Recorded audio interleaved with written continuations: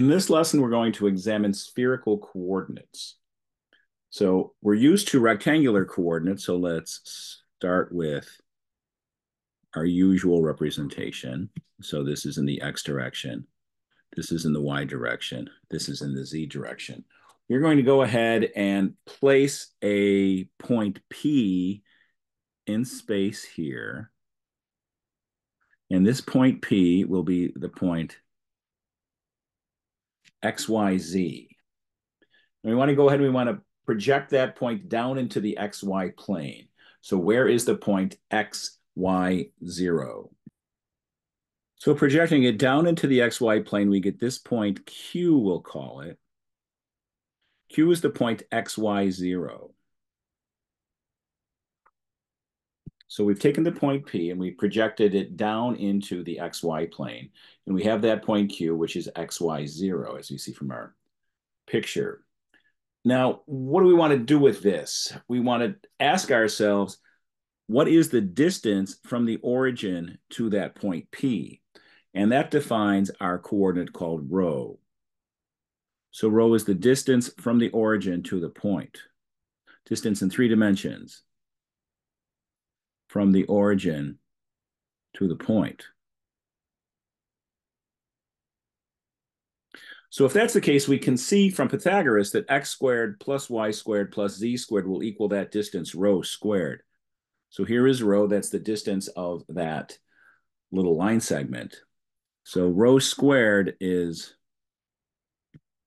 x squared plus y squared plus z squared. If you like, then rho is the square root of x squared plus y squared plus z squared. Now we see x, y, 0.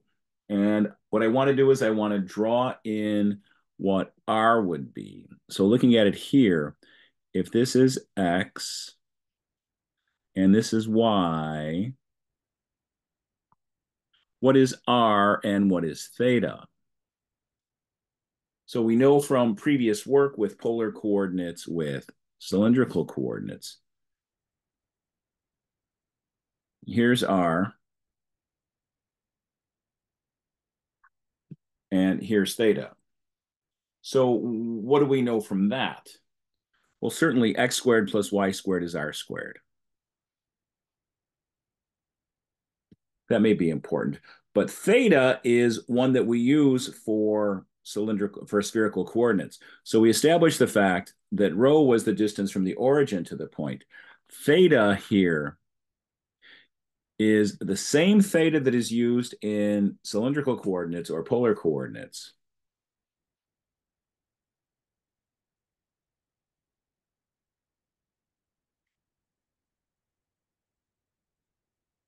For which point? For the point xy0. So if that's the case, we recognize, of course, that the tangent of theta is y over x looking at this picture. Which will then tell me what theta is. Theta is simply defined as what? The inverse tangent of y over x. So if I know x, y, and z, I can get rho. If I know x, y, and z, I can get theta. So rho and theta are the first two coordinates that we need in spherical coordinates. The third one is phi. So how do we define phi?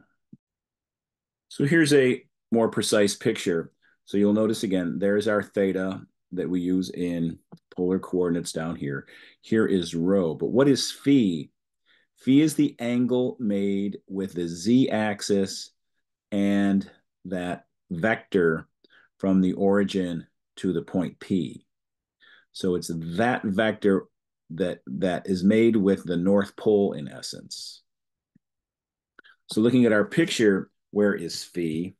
Phi is the angle from Z to rho. So we see we have the distance here is Z. We can pick this up and move it here and say that this is our point Z. There's phi, there's rho. What is the third side of the triangle? That's what we need to think about. And you need to first see where R is. So again, R is the same R that is in the XY plane as we use for polar coordinates. So here is R in the picture down in the XY plane, but we take that same R and put it up here. That's what it will be for that other triangle. So I have a triangle where one side is R, one side is Z, one side is rho, and one side is phi. But I want to go ahead and try to draw that in two dimensions so it's a little easier for us to see. So here's our triangle. And what is the simplest way for us to get phi? If we're looking at this, we have three sides of the triangle, Z, R, and rho. If we stick with Z and rho, the trigonometry function we want to use is the cosine. So the cosine of phi is the adjacent over the hypotenuse is z over rho. So if that's the case, then what does that give us for phi? Phi then is the inverse cosine of z over rho. So we can go ahead and clarify that over here. So it's the inverse cosine of z over rho. But what is rho? Rho is the square root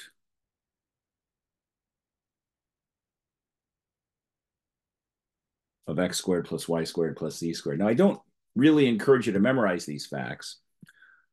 I think it's much better to get them from the geometry and the trigonometry. So there's our formula for rho.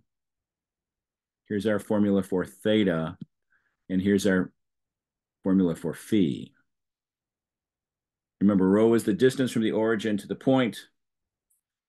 Theta is the same theta is used in polar coordinates. And what is phi? Phi is the angle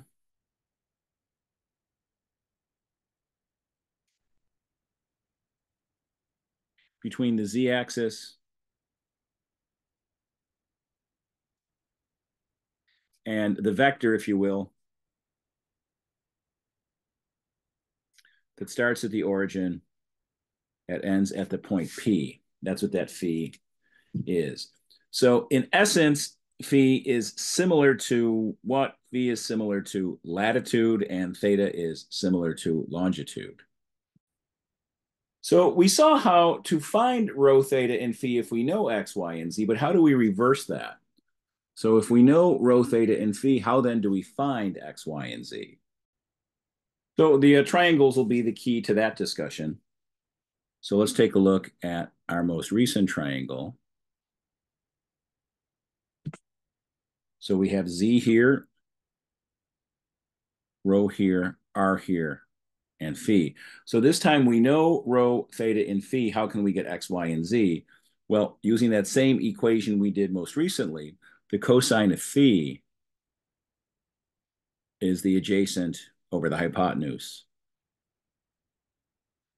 is z over rho. So rho cos phi equals z. So that's checked off. But how about we also get r? That's probably wise. So if that's the case, what are we going to say? We're going to say the sine of phi is r over rho. So rho sine phi equals r.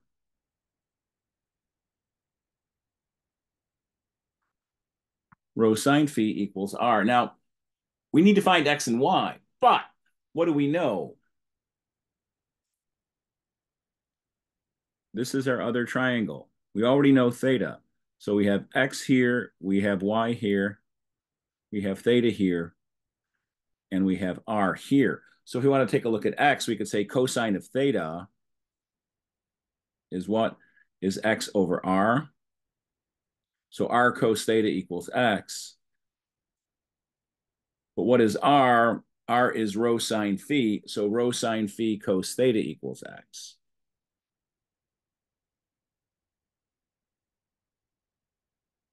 And similarly for y, we could say sine of theta is y over r. So r sine theta equals y. But what is r? r is rho sine phi. So rho sine phi sine theta equals y. So again, that gives us three rules that if we start with rho theta in phi, we can compute z, we can compute x, and we can compute y.